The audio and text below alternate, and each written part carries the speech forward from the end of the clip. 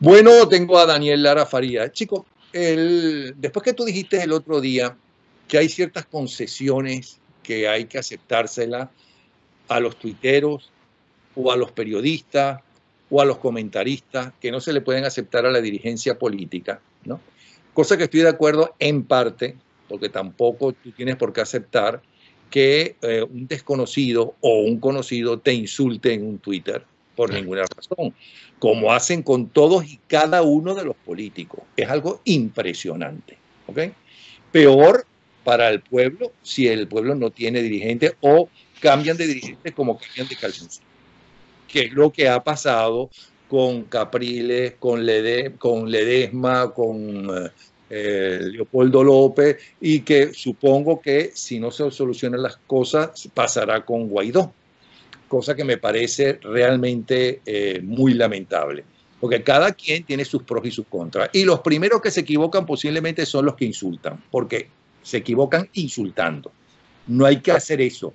Eh, yo lo que creo es que tú puedes decir, bueno, mire, yo no estoy de acuerdo contigo por esto y esto y esto, ¿y qué propones entonces? ¿Me explico?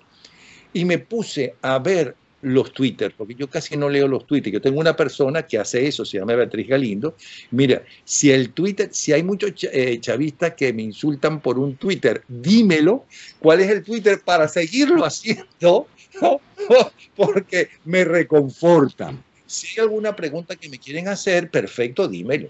Pero ponerme a leer los insultos que le hacen a, a cuanto dirigente político hay, y nosotros como si fuéramos dirigentes, porque yo no tengo nada que ver con política ni nunca tuve que ver con política. Yo soy periodista. Y cuando me quisieron meter en la política, ese no es mi mundo. Entonces, así como no me gusta el ballet, ¿no? Y el ballet es un, eh, ¿cómo se llama? Es un arte maravilloso, no tiene por qué gustarme vivir en el mundo de la política, vamos a estar claros. Chicos, es impresionante los insultos. Es impresionante lo que le dicen a todos y cada uno de los dirigentes políticos. ¿Qué se gana con eso y quiénes hacen eso, aparte del propio régimen, que no es nada nuevo, ¿no? Estas peleas y no solamente de esta que ellos llaman la quinta, en la cuarta también y en la época de Pérez Jiménez también lo hacían. Por cierto, Oscar Llanes y Ramón J. Velázquez eran dos de los que eh, hacían, no, evidentemente no hacía Twitter, sino que inventaban que si Pérez Jiménez iba con unas motos en la horchila detrás de no sé qué italiana. Esto es un invento porque a mí me lo dijo Oscar Llanes que lo inventó. ¿Ok? ¿Qué opinas tú de eso? Mira, Napoleón, eh, bueno, el tema es complicado y sé que mucha gente que acostumbra a insultarnos en estos, en los comentarios de estas conversaciones, eh, va a esperar esta respuesta, porque yo llegué a los medios de comunicación por, por el Twitter, fundamentalmente.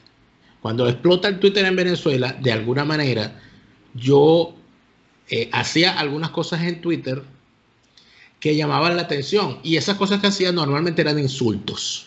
¿Y por qué tenías que insultar? No, me explico. ¿Cómo que no? Permíteme, para explicar. Eran insultos creativos. Entonces yo intentaba a través... Explica primero qué es eso de insultos creativos. Porque no es lo mismo, no es lo mismo decir ¿verdad? Que eh, Cilia Flores es una ladrona que debería estar presa y morirse en una cárcel por ladrona, ¿no? A decir que eh, Cilia Flores le robó el corazón a Nicolás Maduro y que por eso es una ladrona. Ah. Por ejemplo. Vamos al otro. No, no puedes decir que Cilia Flores es una ladrona si no hay pruebas de ello o no está acusada legalmente de ladrona. Lo que sí puede decir es qué pasa con la justicia venezolana, que no hay nadie que se atreva a eh, estudiar e investigar o llevar a juicio a Cilia Flores, que está siendo acusada de ladrona, que es muy diferente. Por supuesto, el planteamiento cuál es entonces? El planteamiento es el siguiente. Eh, así como amor con amor se paga, el odio también muchas veces genera más odio.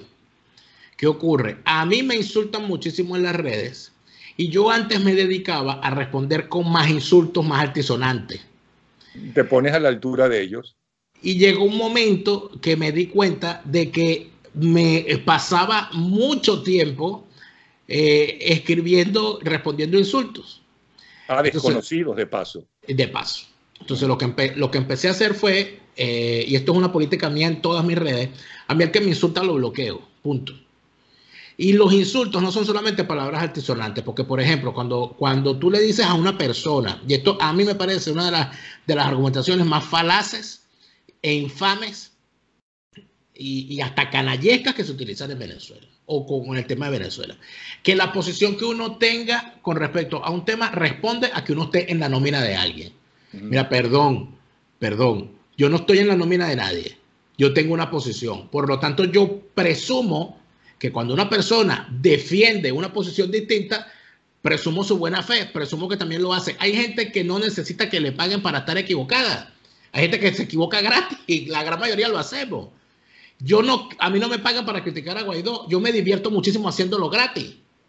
Ah, que eso sea, que yo sea un pérfido, que sea un criticón, es otra cosa, pero no me puedes venir a decir que yo soy un tarifado, que yo soy chavista, que yo estoy al servicio del chavismo, que a mí me paga el chavismo para, para, eh, eh, para criticar, porque eso ya es caer, no en la argumentación, sino en, los, en la argumentación ad hominem. Entonces, ¿dónde vamos? Es que el problema es que en Venezuela se acabó la argumentación. O sea, en Venezuela no vamos a la argumentación, ni siquiera a rebatir. Cuando tú ves, por ejemplo, eso se hizo muchísimo.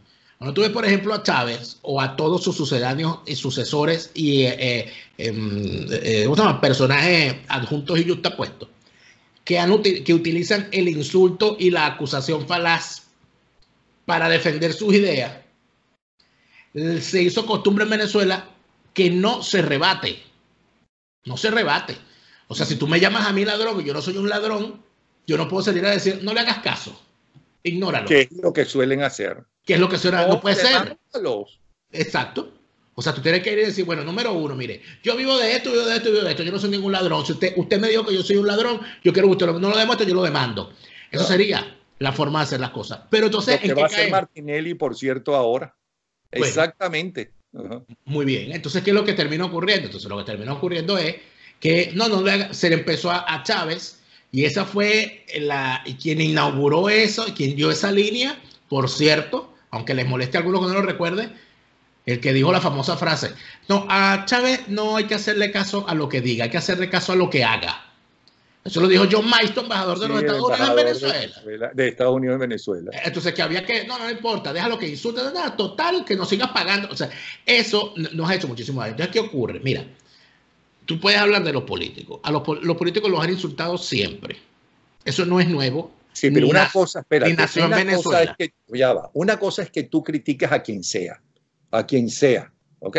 Que le critique, que lo investigue eh, eh, eh, en base a algo concreto, no porque te cae mal, no porque eres chavista, porque primero quiero aclarar para mí qué significa ser chavista. Chavista no es ninguna ideología. Para mí chavista es odio, resentimiento, y eso tú puedes ser chavista de derecha como chavista de izquierda, ¿no? que son exactamente iguales los que están llenos de odio, resentimiento contra el que no piensa exactamente con, eh, con sus intereses, porque suelen ser sus intereses. Ahí no hay ideología, no hay filosofía, no hay nada. Una cosa es que tú digas, bueno, es que Maduro es un, hay que investigarlo porque es ladrón, o ya está siendo investigado eh, porque es ladrón. Y otra cosa es que tú lo insultes, ¿no? Y le llames cualquier tipo de vulgaridad, porque eso ya no es una discusión intelectual o política, eso es una patanería, eso es una cosa de, de, malandros, que es lo que ellos son. Entonces te está rebajando ¿ah? al nivel de ellos. No y nosotros no nos podemos rebajar al nivel de ellos porque entonces rebajamos a todo el mundo. Al revés, lo que hay que superar es que los próximos dirigentes que van a encargarse de una democracia venezolana, ¿no? en lugar de hacer lo que hacían los de la cuarta al final, porque ni siquiera al principio se puede decir eso, en lugar de decir, es que el fulanito de tal es un ladrón sin pruebas y que el fulanito de tal que es un ladrón sin pruebas no los demande, eso es un error, porque eso fue lo que desprestigió a la dirigencia política en Venezuela y lo que está desprestigiando a la dirigencia política en buena parte del mundo. Fíjate que eso es algo, ese punto es importante. Porque eh, es que los políticos también, entonces, eh, se han acostumbrado a que los insulten. Sí, y no les importa. Y además a que los acusen falsamente y nunca se defienden. Por ejemplo, por ejemplo, yo fui en Venezuela a la, a la residencia de más de un dirigente político que ocupó cargos de diputado, de ministro y hasta de presidentes. Mm. Yo fui a la casa de Octavio Lepaje. La puerta de la casa me la abrió él porque no tenía personal de servicio. Yo, yo fui. es otro. Bueno, que, que, vivía en la misma casa antes de ser presidente, después de ser presidente vivía en la misma casa. ¿Cómo no? unas casas, en muchos casos, unas casas grandes, casas familiares, en unas buenas zonas. en el caso de Luis Herrera, una clase de media, eh, de clase media media. Exacto. En Unas casas que la, hicieron su casa, que muchos de ellos, como fue el caso de Lepaje, compró una parcela en determinado sitio, le salió barata, la pagó a crédito y ahí fue construyendo su casa. El, el caso, a la casa del doctor Teresa París, a la casa del doctor Ramón J. Velázquez. Y cuando tú entrabas a esas casas, ¿verdad? te causaban dos problemas a mí. Llegaba a esa casa y tú decías, ¿y dónde está el dineral que está, supuestamente tenía? Porque todos los políticos eran unos ladrones. Número uno. Tú veías una casa, bueno, una casa modesta, donde lo que más valor tenía eran los libros. Que la gran mayoría tenían la casa repleta de libros. La biblioteca del doctor Tejera París era una cosa espectacular, un espectáculo de biblioteca. La del doctor Ramón J. Verás que ni se diga que fue donada, por cierto, por sus sucesores a la, Universidad Metropolitana. Eh, y entonces, tú, tú, y uno conoce particularidades de la vida de, varios otros y uno sabe las, las estrecheces en las cuales terminaron su vida. Y entonces uno dice, bueno, pero entonces estos tipos no eran ninguno ladrones o nos engañaron. porque ellos no rebatieron eso nunca? ¿Por qué nunca hubo nadie que, demandara a alguno de los que los acusaban de ser unos ladrones? Entonces, eso, eso, cuando llegamos al día de hoy, entonces nos damos cuenta que, por ejemplo, eh, el, gran, el, gran problema que hay entre los que defienden una, en la oposición las posiciones a favor de la negociación y los que defienden posiciones más radicales de salidas de fuerza, etc. María Corina Machado defiende unas posiciones fuera de lo relacionado a la negociación. Si ella dice que la negociación no es correcta porque nos ha engañado tantas veces y que hay que buscar una salida de fuerza, la respuesta es decir, María Cristina Machado es financiado por unos banqueros prófugos y además de eso ella es una divisionista y ella lo que quiere es que ser ella y le da envidia. Pero tú me estás yendo al fondo de la argumentación. Ella está diciendo que las negociaciones han fracasado en ocho oportunidades. Es lo que yo estoy planteando. Exactamente eso es lo que yo digo. Bueno, eso es en caso. Entonces la pregunta es, la pregunta del planteamiento es el siguiente. No debería María Corina Machado un día salir y decir, mire, el editor fulano de tal, el periodista fulano de tal y el dirigente fulano de tal, y fulano y fulano, a, través de sus cuentas de Twitter, me acusan a mí de esto y de esto y de esto. Yo les voy a decir a ustedes que mi partido tiene estas fuentes, que yo hago tales y tales actividades y que yo no recibo dinero ni de Mengano, ni de Mengano, ni de Sutano, ni de ningún delincuente. Y si no, pruébenlo. Y si Pero tribunales. Y si no, vamos a tribunales para que usted me demuestre eso. Eso sería algo muy bueno. En el caso de Capriles, a Capriles lo han acusado 700 mil veces de consumidor de droga. Lo han acusado de cuánto acoso lo han podido acusar. Ojo, muy lejos estoy yo de salir a defender a Capriles. Me parece que sus posiciones políticas, para mí, tengo un acúmulo, bueno, tengo, tengo montañas de crítica.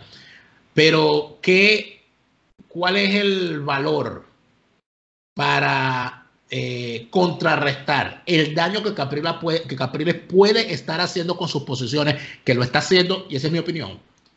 ¿Qué gano yo diciendo, yendo al argumento bajo de, señalar, eh, eh, señalarlo por, por, su orientación sexual o por, o por porque tiene tal o cual vicio que yo no puedo demostrar? De paso. Porque usted ah, puede decir. De paso. ¿Qué tiene eso que ver con la política? No tiene nada que ver. Aparte de eso, yo no puedo, si ahora si yo tuviese, ¿verdad? Una sentencia firme de un tribunal donde aparece eh, el, señor Capriles involucrado en un caso de narcotráfico, como si es el caso de los sobrinos de Cilia Flores, yo puedo decir que Cilia Flores es la tía de unos narcotraficantes. Sí. Nadie me lo puede Cilia Flores y Maduro y, Padrino de Más están siendo investigados ¿no? en los Estados Unidos para empezar. Bien, entonces, pero estás en la, en la cuestión, eh, estamos todavía en la cuestión política. El político debería rebatir. Ahora yo, yo te, me voy a ir. Sí, pero el ciudadano, para que el país mejore y realmente tengamos una verdadera democracia, también tiene que discutir ¿no?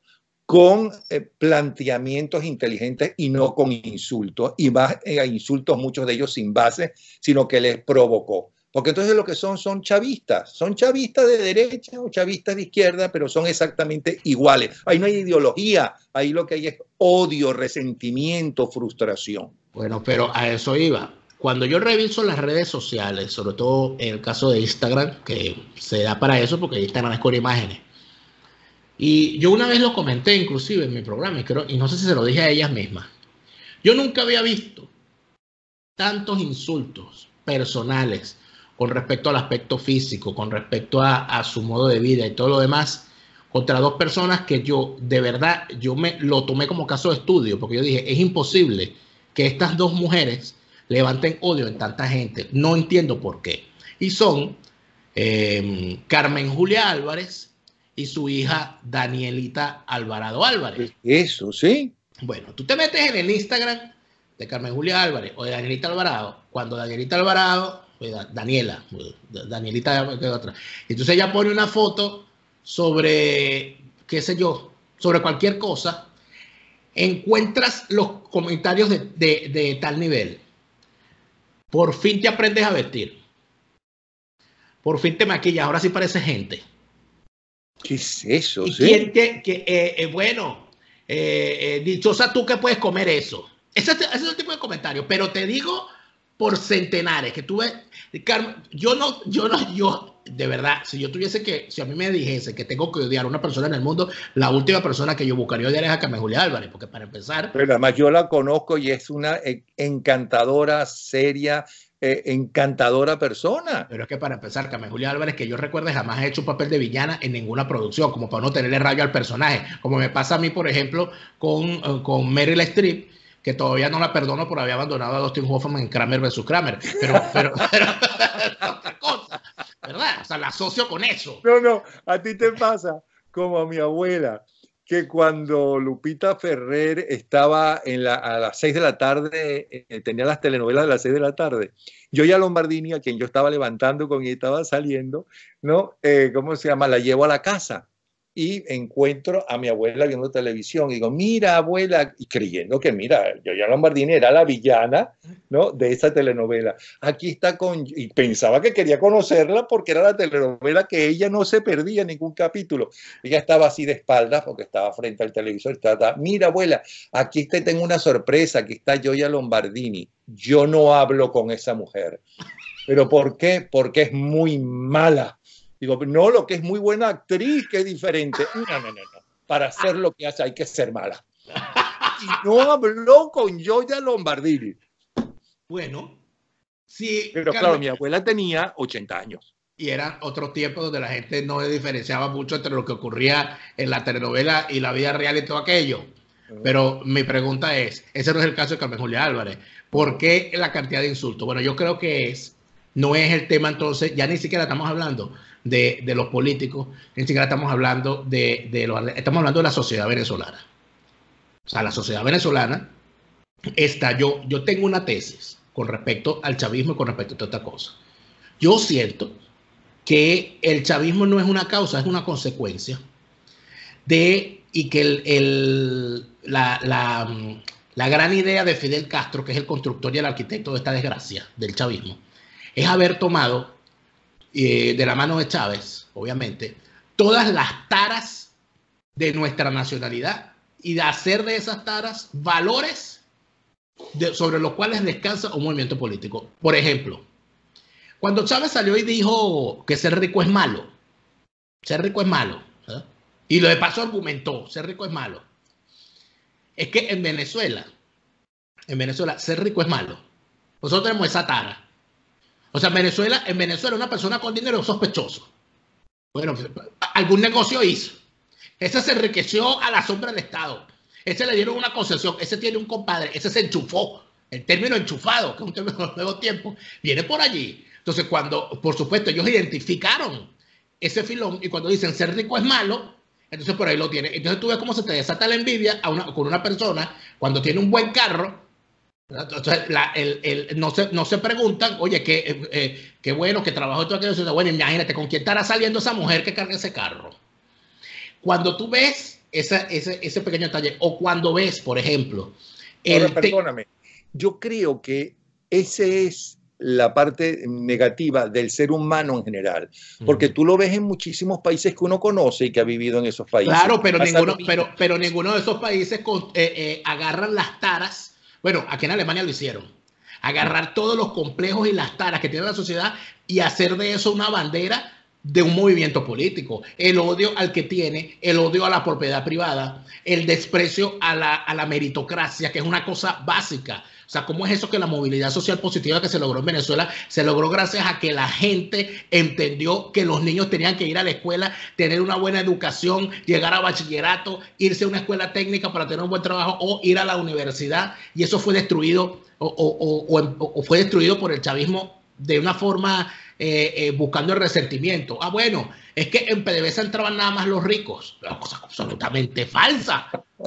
Eso lo decían. Que en la universidad, no, que a mí me decían que, la, que en PDVSA no entraban negros. Ajá. Debe ser que no, y que no entraba pobre. Yo no sé cómo hizo Carlos Ortega para trabajar en PDVSA. ¿No? Por ejemplo, yo llegué, eh, eh, el, el otro tema del cual yo puedo hablar tranquilamente, el caso del ingreso a las universidades. Aquí se decía que en la Universidad Central había que pagar para, obtener un cupo. Eso era cuando Pérez Jiménez había que pagar, que era bien costoso, por cierto. Bueno. Eso lo eliminó de, de, de Wolfgang Larrazábal para acá, que era una miseria lo que había que pagar realmente, porque si alguien, si alguien eh, llevó la educación a la gente inclusive más eh, humilde. Fueron esos años de la democracia venezolana. Ya, yo recuerdo el, la sorpresa de una persona. Pero vamos a aclarar una cosa, aquí no estamos eh, haciendo esta conversación para hablar bien del pasado. No estamos hablando del odio estamos en la sociedad. Para que el futuro no repita las cosas negativas que había en el pasado y Correcto. que utilizó esta, esta banda de narcotraficantes, porque así han sido acusados internacionalmente, ¿ok? Eh, para eh, eh, implementar, para aupar el odio ¿no? y el resentimiento y la división de los venezolanos. Eso es lo que no se quiere. Pero el futuro... Eso no significa que estemos diciendo que no hay que enjuiciar a estos delincuentes. Ah, no, no. ¿no? Ah, ah, y los que son delincuentes. Eso no significa que estemos hablando de eso. Ah, porque te van a poner cualquier tipo de excusa. Van a agarrar un pedacito de la frase que tú digas para decir, ¿ves? Ese tipo de... Bueno, pero, pero fíjate, entonces la conclusión es una sola. Si nosotros queremos un futuro distinto a este que hemos tenido, nosotros tenemos que entender que el, el, esas taras de nuestra nacionalidad ese, y ese eh, odio exacerbado eh, al adversario, al, al ver, a o sea, un país donde, donde uno podía tener un vecino adeco siendo copellano o viceversa, y eso, sin que eso significara que yo le quitara el habla. Bueno, en las campañas quizás se ponía una cosa un poquito escamosa, pero después eso, eso, eso, nada na, que ver. Un eh, paréntesis de lo que estás diciendo como ejemplo. En, eh, por la mar había una amiga nuestra que tenía un restaurante árabe, si mal no recuerdo, y la mamá un restaurante, creo que chino o algo de eso, y estaban uno al lado de otro. Entonces estábamos ahí conversando y ella me decía, o nos decía a mi esposo y a mí, es que, es que hasta hace poco, ¿no? Uno iba a las verbenas de los adecos, ella era copellana, o es, no sé. Uno era a las verbenas de los eh, adecos, ¿no? Y lo, a, nuestros amigos adecos iban al, no sé cómo llamaban a los copellanos a sus verbenas, no sé qué los copellanos, ¿no? Y todos disfrutábamos y demás. Pero ahora, ¿qué coño pasó? Ella no se explicaba, porque realmente tú podías tener amigos eh, adecos, copellanos y comunistas también, porque mira que se le dio oportunidad a los comunistas. Eh, bueno, no había una sola película no, eran muy pocas que no dirigiera un exmiembro del Partido Comunista y hasta de la guerrilla. No, en las universidades se le abrió no, no solamente a, a, los... Le abrió no, se les entregó, se les entregó. Sí, pero con currículum. Después fue más grave. Cuando vino todas las dictaduras de, Chile y de Argentina, no le pedían ni siquiera los papeles para comprobar, mira, si tú fuiste profesor universitario aquí, ¿me explico? Entonces, y, y tenían, eh, no sé, eh, tenían puestos en las universidades. Pero ¿qué pasó después? Esta gente es lo peor. ¿De dónde? Porque como decía Orlando Urdaneta, yo viajé en autobús, en metro, no sé qué cuento. ¿De dónde salió esa gente? Bueno, esa gente estaba ahí. Esa gente estaba ahí y por alguna razón nosotros no la veíamos, Napoleón, porque yo no puedo creer. Y esos odios estaban allí esos resentimientos estaban allí y, y, lamentablemente reventaron y fueron utilizados de esta manera. Por ejemplo, el tema eh, que es algo que, eh, eh, hablando del futuro, ¿no? de cómo queremos para que esto no, no, no ocurra. Lo primero es negarse, negarse a la imposición de la argumentación falaz, ir al fondo del asunto. A mí no me gusta una cosa, determinada periodista ¿verdad? solamente habla bien de Guaidó, ese es que Guaidó le está pagando y no puede, y cuando tú dices que no te gusta esa periodista, no podría yo entonces, basado en tu argumentación, presumir que a ti te están pagando para hablar mal de ella. Claro. Entonces, e, es, ayer esa argumentación, yo voy más fondo. Ah, yo entiendo que hay periodistas, eh, comunicadores, editores, que se casan, que tienen una línea editorial. ¿Y cuándo no ha habido líneas editoriales en el mundo? Hay líneas editoriales de izquierda hay líneas editoriales de derecha, hay líneas editoriales de centro, líneas editoriales comunistas, líneas editoriales liberales.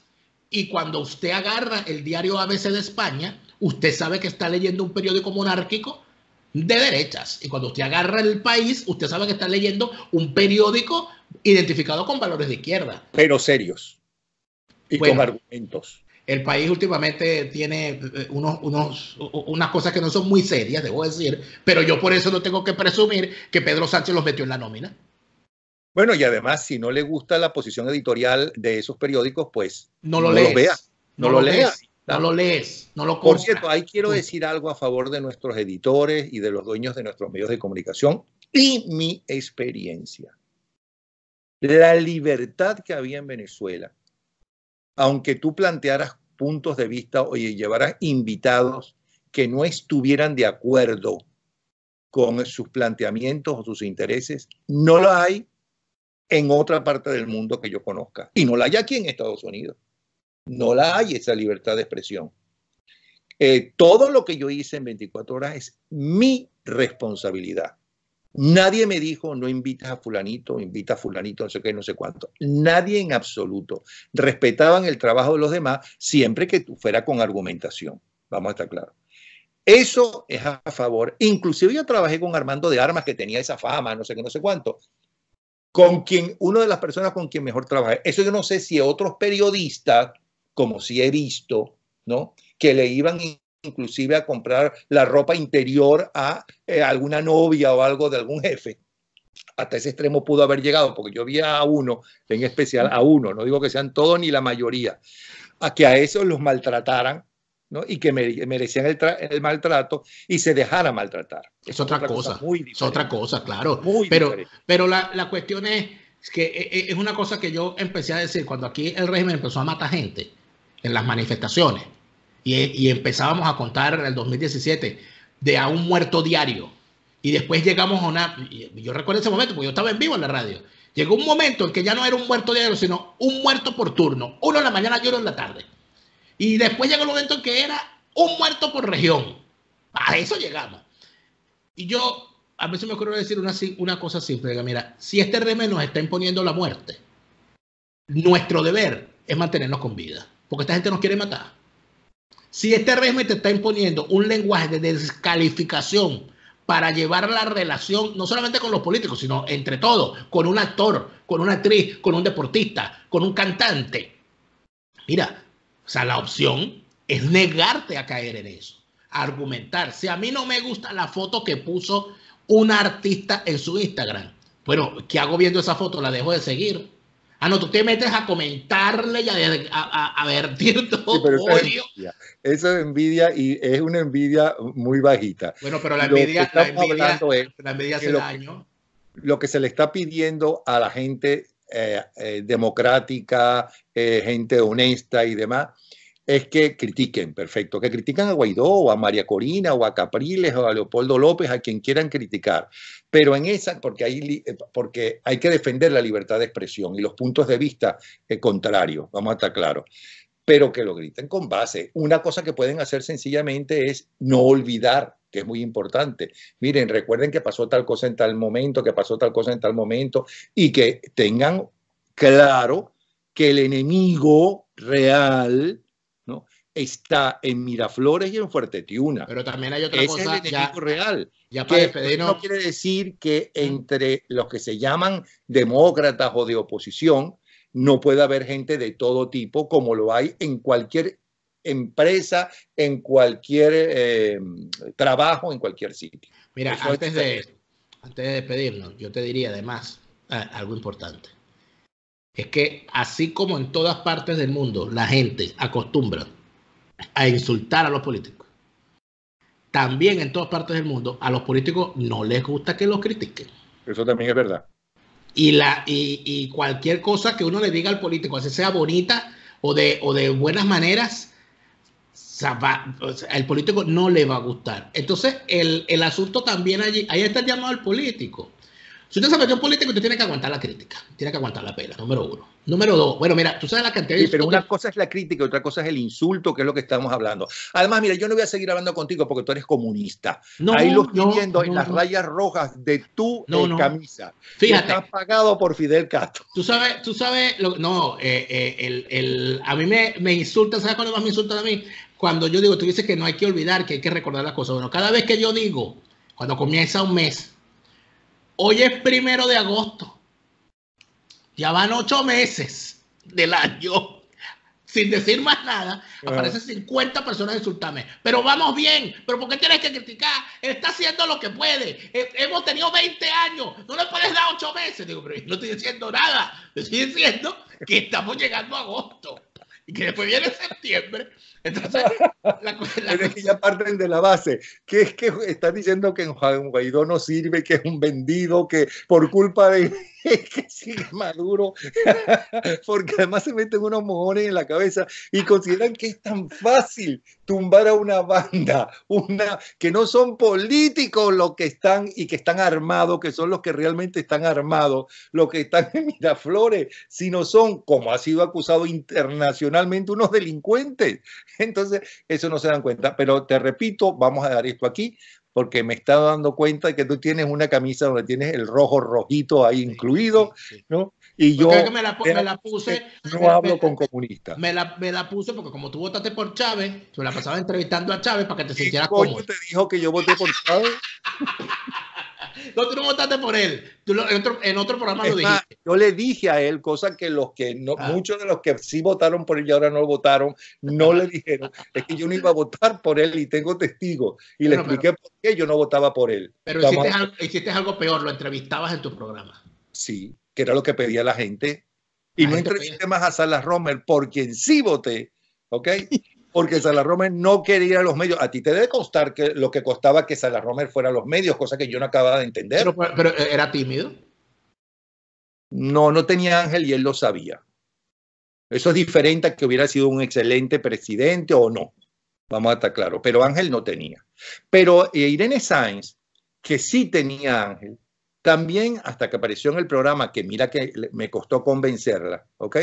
Tampoco le recomendaban no ir a los medios o a ciertos medios o a ciertos periodistas. Bueno, pero es que yo recuerdo, y, ya estamos entendiendo mucho, pero hay que recordar la, el, el, atentado contra la vida política de Irene Sáez que significó que tú le preguntaras cuánto costaba un ticket de metro. No, cuánto costaba un kilo de carne fue. Un kilo de carne. Pero tú quieres decir, quieres que te diga una cosa. Mm. Lo hice sin mala intención Pero es que nadie, nadie, se lo imaginaba, nadie, se, nadie se lo imaginaba. Una cosa muy normal, porque ella estaba hablando de los costos de la cosa, y como si, lo hubiera, como si hubiera sido Salas Romero, hubiera sido eh, Chávez, hubiera sido quien sea. ¿No?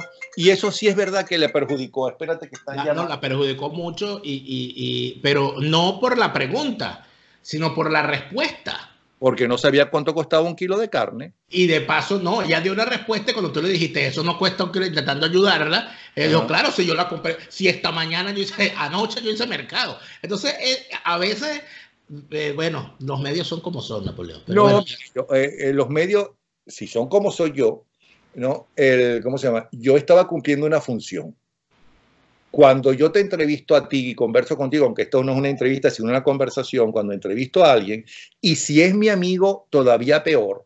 Claro. Yo trato de que el entrevistado me diga lo que no quiere decir. Porque lo que, lo que quiere decir, evidentemente, para eso fue al programa, decir lo que quiere decir. Bueno, di lo que tú quieres decir, pero ahora dime a mí lo que yo creo que el televidente te va a preguntar. Lo que yo le dije a Pérez Jiménez, Pérez Jiménez no me quería dar entrevista, porque a un periodista muy conocido le dijo, tenga cuidado con él, no lo dejes, de entrevistar, no sé qué, no sé cuánto. Y entonces, por fin conseguí, gracias a Rosalía Romero, que se portó muy bien con Pérez Jiménez, ¿no? Eh, conseguí que me diera, eh, creo que fue media hora lo que me iba a dar. Terminamos tres días, ¿no? Y amigos además porque además me cayó muy bien Pérez Jiménez, vamos a estar claros. Me cayó muy bien como entrevistado, vamos a estar claros. ¿no? A mí no me gustan los dictadores y puedo reconocer las cosas positivas que hizo Pérez Jiménez, pero también tengo que reconocer que si yo soy civil y democrático, ¿no? tengo que aceptar que otros que no piensan como yo, estén en eso. A lo mejor Pérez Jiménez tenía razón en lo que hizo, eh, comparado con otros dictadores de la época, también amparados y apoyados por la política de Estados Unidos, ¿no? Para enfrentarse a lo que estaba haciendo la Unión Soviética, que era mucho peor con sus países eh, eh, bajo la bota soviética. Pero Pérez Jiménez era una dicta blanda comparada con los otros dictadores de esa época. Pero también es verdad que había países latinoamericanos que había eh, democracias en esa época. Muy pocos, pero los había. Yo le digo a Pérez Jiménez, mire, yo no le voy a hacer las preguntas cuyas respuestas quieren conocer la gente que lo sigue. Porque eso lo puede hacer usted eh, en un comunicado de prensa y lo van a aplaudir su gente. Yo le voy a hacer las preguntas, si usted está de acuerdo, porque si no, no hacemos la entrevista de lo que piensa la gente que no cree en usted y que considera que usted fue un mal dictador. Pero eso no depende la respuesta de mis preguntas, sino de su respuesta. Y realmente lo hizo muy bien. Porque lo hizo muy bien. Yo no creo que fuera un gran intelectual, ni mucho menos. No lo era. No creo que ese caserón que él me mostró, enorme, donde no había nadie en ese caserón. Yo creo que lo hizo para huir de su esposa. para que ella estuviera en un extremo y él en otro. No sé, digo yo, para que una gente quiera una un caserón como es una mansión con tantos cuartos, viviendo dos personas solamente. Ok. No creo que fuera como él me dijo, ahorrando. Y me dijo, bueno, es que yo empecé vendiendo cuando era muy joven periódicos de casa en casa, llevando el periódico y después con los ahorros me compré una bicicleta, todo eso lo creo. Eh, después que después vender más cosas, más periódicos, cosas. Entonces yo llegué a un momento que le dije, ay, no siga, como a los cinco minutos, ahí está en la grabación, no siga porque usted está como la hormiguita del Bancuñón. El Bancuñón tenía una cuña, ¿no? Que la hormiguita ahorraba durante el verano para en el invierno tener comida, ¿no? Entonces él se medio sonrió, ¿no? Porque ese, eh, eh, porque Pérez Jiménez no tenía el carácter que, que tenía Piñeruorda, por cierto. tenía mucho mejor carácter que Piñeruorda, por citar a que después estuvimos hablando el otro día. bueno, pero, ese es el punto. Es así, pero bueno, hay mucha, hay mucha, ya, ya pasamos del odio a, a, Pérez Jiménez, pero eh, es interesante porque fíjate que también cuando se hacen las argumentaciones con respecto a nuestra historia, también se cae en la argumentación falaz también se cae en el, en el discurso, en el discurso difamatorio, ¿ok? Sin ir nunca a las pruebas, sin ir nunca al, al, a lo que hablamos del otro día que, que hice tres. ¿Tú lo dices por la función de Pérez Jiménez? No, no, no, lo digo por... por o, la, o la riqueza, o la riqueza de Carlos Andrés Pérez que murió pobre. Entonces, si cuando, Carlos Andrés Pérez fue tan ladrón, ¿por qué murió pobre? ¿Y, Y por si- qué vivía en una casa normalmente de gente de clase media? O al final de su vida en apartamentos que le prestaban unos eh, amigos porque no tenía ni siquiera cómo pagar al médico. Eso ¿Y la gente no lo sabe o ¿Y no si- lo quiere saber. Y si Pérez Jiménez era una persona honesta, ¿cómo vivió 40 años en una mansión sin trabajar nunca más? O sea, hay cosas que son evidentes. Ahorrando como la hormiguita del banco. o sea, hay cosas que están claras, tanto para lo bueno como para lo malo. Sí. Y entonces, cuando hablamos en estos días de los fake news, de cómo la, la- se convierte una leyenda urbana en, un- en un tema, entonces se deja eso colocado, porque tampoco se rebate, ¿verdad? Porque nunca se sale y se dice, mira, eh, lo- tú sabes lo que significaría en Venezuela que un político muestre su declaración jurada de bienes. ¿Cómo sería no solamente en Venezuela? ¿Cómo sería en Estados Unidos? que, que Trump- Pero que no, en los Estados Unidos, en los, pero en los Estados Unidos te escudriña tu declaración de impuestos. Mm. En los Estados Unidos te revisa qué fue lo que declaraste y te Él buscan no la foto, la foto él- que te no tomaste hace, hace 15 mostrar años. él no quiere mostrar eh, justamente eso es lo que están recriminando y no solamente los demócratas, ¿no? Eh, que paso lo hacen bien mal porque tienen montones de cosas como para, co- co- como para rebatir y no lo hacen, no entiendo por qué, o porque son malos en eso, sino que los propios republicanos le están diciendo, mira, y en- es más, en California, solamente para fastidiarlo a él, porque están enfrentados, el gobernador acaba de firmar, no puedes ser candidato en California si no declaras tus impuestos, cosa que me parece lógico, no para Trump, para todo el mundo como una el mundo. obligación. O sea, en todas partes del mundo. Eso, tiene- eso y fíjate, eh, eh, esto se está haciendo largo, pero te lo tengo que decir. Bueno, que ya, ya el programa lo hicimos, ya El no lo que hicimos. trabajar más. Mira, el, eh, yo donde he recibido mayor indignación e inclusive se me han parado indignados del programa y, y no han ido más ni han aceptado invitaciones, ha sido a, a los dirigentes políticos o aspirantes a ellos, a los cuales yo le he hecho una pregunta que para ellos es insultante. ¿De qué vive usted? Tan sencillo como eso. ¿Por qué? Porque como, como uno sabe cómo se hace política en Venezuela, uno está perfectamente al tanto de que alguien le pone gasolina al carro. Pero, pero además es lógico, lo que pasa es que ahora con el chavismo está prohibido, pero lo lógico es que o partidos, por ejemplo, socialdemócratas, ¿ok? apoyen al Partido Socialdemócrata o a los partidos socialdemócratas eh, financieramente y con cualquier tipo de conocimiento a los socialdemócratas de aquí, a los socialcristianos de allá, a los social... Eso antes era legal, pero Chávez Era normal. tenía el dinero, lo prohibió. Claro, pero también era normal que los militantes pagaran una cuota para su partido. También era, también era normal eh, que los partidos internamente, y lo sé, lo conozco, por, por, por testimonio, no porque yo, yo lo viviera, de que los partidos internamente presentaban sus cuentas. Mira, aquí se hizo una romería, se recolectó tanto, y aquí está el dinero, y con este dinero vamos a hacer esto. Eso se hacía, eso se dejó de hacer. Sí, Y pero cuando- todo eso, ¿no? Empezaron las cifras a crecer y a crecer, cada vez más costoso todo, cada vez más costosas las campañas propagandísticas, cada vez más la cosa, y empezó también más de un vagabundo a decir, a hacer sus negocios, ¿no? En base al puesto que tenía en el gobierno.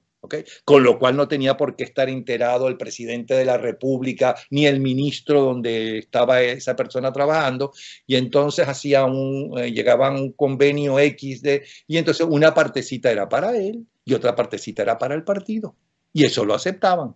Bueno, pero ahora yo te pregunto lo siguiente, ¿a ti te parece que es una infamia preguntarse si no, al revés, es una ejemplo, obligación. si no, si la, los diputados de la Asamblea Nacional han dicho que ellos desde que los declararon en desacato no tienen presupuesto y por lo tanto no cobran su salario, yo como ciudadano no estoy en el deber de preguntar, caramba, y entonces, ¿cómo hacen los diputados para viajar?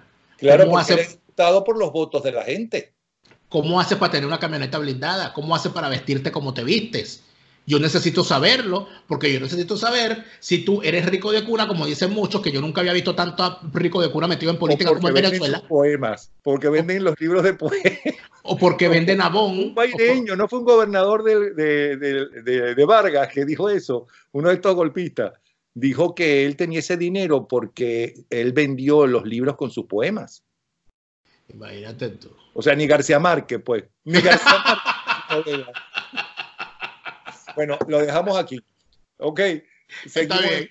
Mañana, pero más corto. Está bien. Hasta luego. Gracias.